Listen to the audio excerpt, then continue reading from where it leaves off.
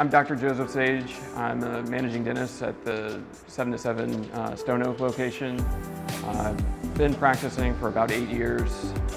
Um, I've been at the Stone Oak location for three of those years, or a little over three years. Working at other practices, I, I kind of, throughout that time, I felt like there was always something more that I wanted. Um, at first I had, had you know, wanted to open a practice or buy a practice, um, but I always felt like working as an associate at other practices, I was always looking for the next thing.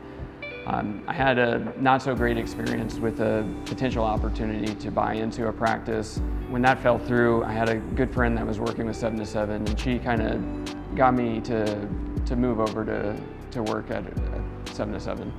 Since that time, I can honestly say I, I haven't dreaded coming to work. I hadn't, um, I haven't looked for the next thing.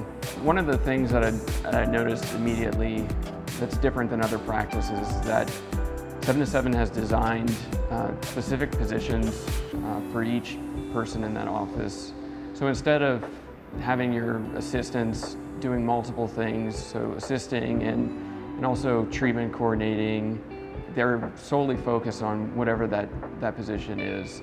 And that makes the patient experience a whole lot better and it makes everything run um, efficiently, which allows us to be more productive. Some of the other things that um, 7 to 7 does that's a lot different than other offices is the um, amount of days that they're open throughout the week um, and the, the hours that they're open. So you may look at 7 to 7 and think that, oh, you're going to work seven days a week for 12 hours, but in reality, that's not the case.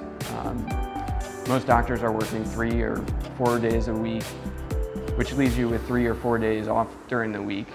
Um, this is great for somebody who wants to take a vacation every once in a while. You can you can swap shifts with, with your, another doctor. You can um, cover, cover people's shifts so that you have time off in the future.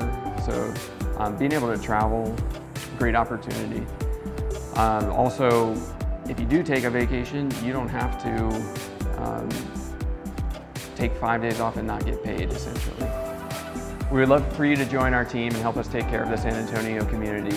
Uh, please check out our website, 7to7dental.com, and we look forward to meeting you.